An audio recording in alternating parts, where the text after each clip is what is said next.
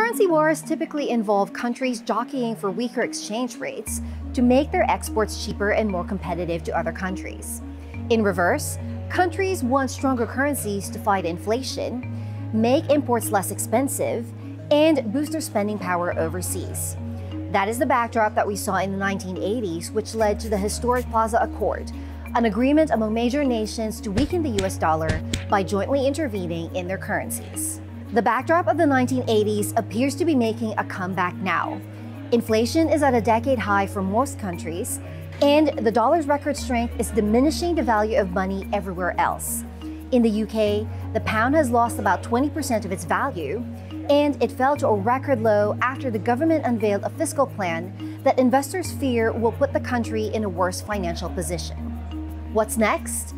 Watch for signs of countries intervening in their currencies.